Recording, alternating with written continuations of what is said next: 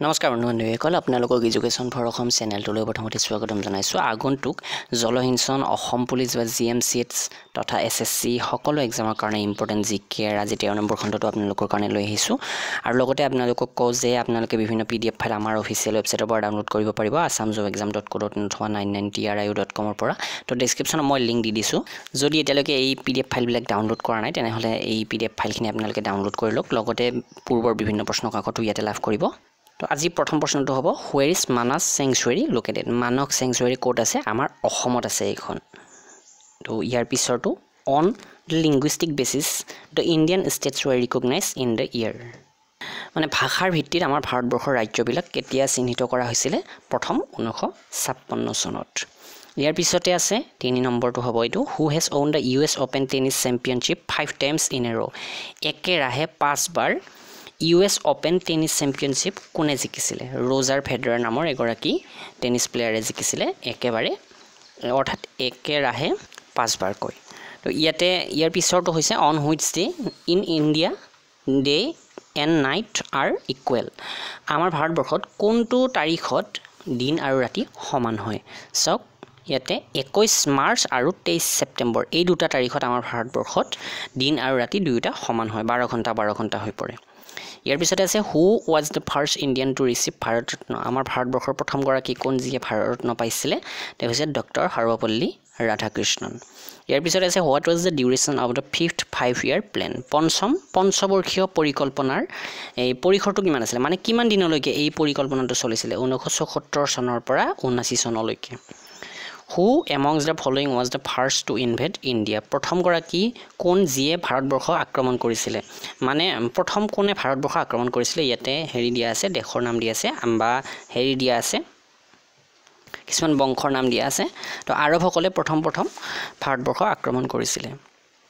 ইয়াৰ পিছতে আছে warship in India are manufactured at আমাৰ ভাৰতবৰ্ষত যুদ্ধ জাহাজ ক'ত বনোৱা হয়? কোচিন শ্বিপয়াৰ্ডত যুদ্ধ জাহাজ বনোৱা হয়।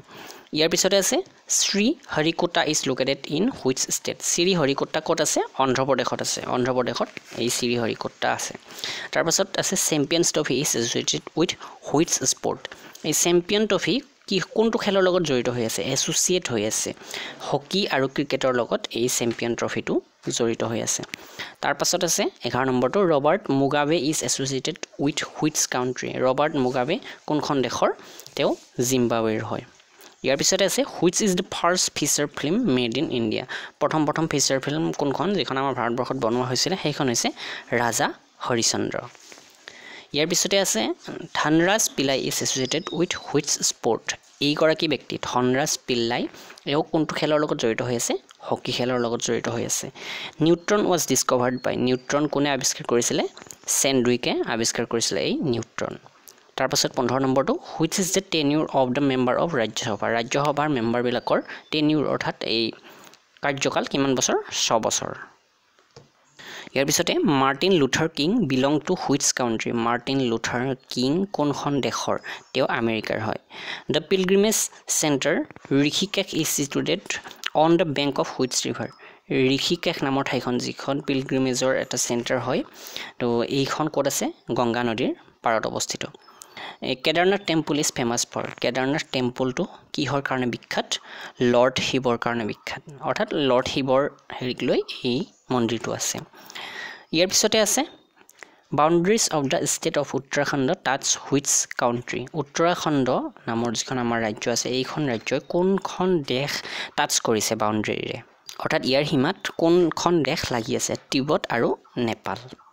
তাৰপাছত আছে the famous social worker Anna Hazare is fighting against what Anna Hazare যিগৰাকী ছ'চিয়েল ৱৰ্কাৰ হয় কিহৰ বিৰুদ্ধে তেওঁ যুদ্ধ কৰিছে? কাৰাপশ্যনৰ বিৰুদ্ধে। ইয়াৰ পিছতে আছে who presents the budget in parliament পাৰ্লিয়ামেণ্টত budget কোনে প্ৰেজেণ্ট কৰে? ফাইনেন্স মিনিষ্টাৰে তো বৰ্তমান ফাইনেন্স মিনিষ্টাৰ কোন আমাৰ ভাৰতবৰ্ষৰ? এইটো আপোনালোকে কমেণ্ট কৰিব। ৰা বাবা ৰামদেৱ ইজ এ বাবা ৰামদেৱ কিহৰ লগত জড়িত? যোগ গুৰু। অৰ্থাৎ তেওঁ এগৰাকী যোগ গুৰু। ইয়াৰ পিছত আছে which country is known as kangaroo এই ইজ ন'ন এজ কাংগাৰু চাওক কোনখন হেৰিত দেশত কেংগাৰু পোৱা যায়? তেনেকুৱা ধৰণৰ হ'ব প্ৰশ্নটো। তো অষ্ট্ৰেলিয়াত এই কেংগাৰু পোৱা যায়। গভৰ্ণৰ ইজ এপইণ্টেড বাই গভৰ্ণৰবিলাক ৰাজ্যৰ গভৰ্ণৰবিলাক অৰ্থাৎ ৰাজ্যপালবিলাক কোনে এপইণ্ট কৰে? প্ৰেচিডেণ্টে ৰাষ্ট্ৰপতিয়ে।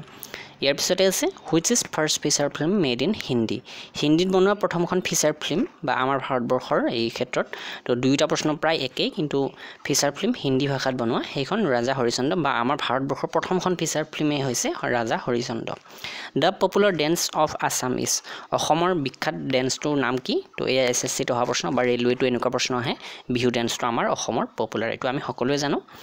হু ডিস্কভাৰ আমেৰিকা আমেৰিকা কোনে আৱিষ্কাৰ কৰিছিলে? কলম্বাছে আৱিষ্কাৰ কৰিছিলে আমেৰিকা। ইয়াৰ পিছতে আছে Vande Mataram the national song has been adopted from which of the following books. Vande Mataram এইটো আমাৰ যিটো ৰাষ্ট্ৰীয় গীত তো এইটো ক'ৰ পৰা লোৱা হৈছে? আনন্দ মঠ নামৰ কিতাপখনৰ পৰা লোৱা হৈছে এইটো। ইয়াৰ পিছতে আছে in which state Borra caves are located. Borra cave এই বহোৰা গুহাবিলাক কোনখন ৰাজ্যত অৱস্থিত? কাশ্মীৰত অৱস্থিত আৰু আজিৰ লাষ্ট প্ৰশ্নটো হ'ব what is Nag missile? Nag মিছাইলটো কি? ছাৰ্ফেচ টু এয়াৰ অৰ্থাৎ মাটিৰ পৰা বায়ুলৈকে নিক্ষেপ কৰা এটা মিছাইল হৈছে এই নাগ মিছাইল। আপোনালোকে ভিডিঅ'টো নিশ্চয় লাইক শ্বেয়াৰ কৰিব। ধন্যবাদ।